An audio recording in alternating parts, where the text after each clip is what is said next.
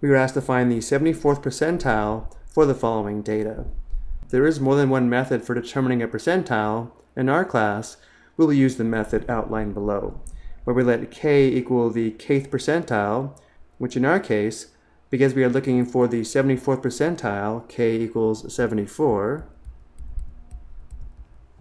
i equals the index, which is also referred to as the ranking or position of a given data value, and n is equal to the total number of data values.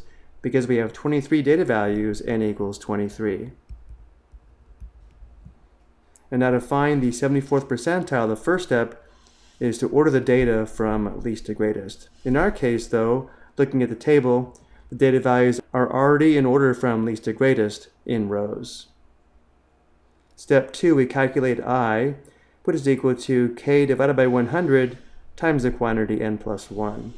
So i is equal to k divided by 100 is 74 divided by 100, and then times the quantity n plus 1, which in our case gives us the quantity 23 plus 1.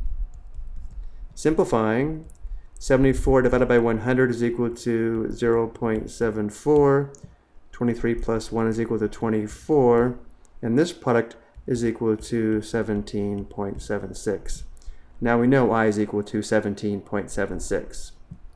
Next, if i is an integer, then the kth percentile is the data value in the ith position. But in our case, i is 17.76, which is not an integer, and therefore this does not apply.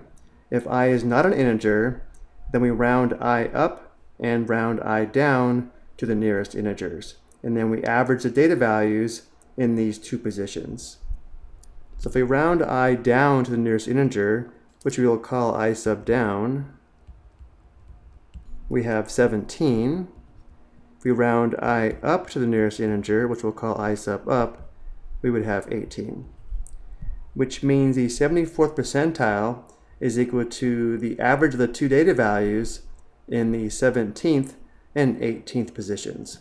So going back over to the table, we have 5, 10, 15, 70 is in the 16th position, and therefore 82 is in the 17th position, and 84 is in the 18th position, which means the 74th percentile is the average of these two data values, which means P sub 74, the 74th percentile, is equal to the quantity 82 plus 84 divided by 2, which is equal to 83.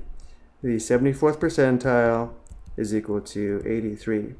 And remember, 74% of the data values are less than or equal to the 74th percentile, which means in our case, 74% of the data values are less than or equal to 83. I hope you found this helpful.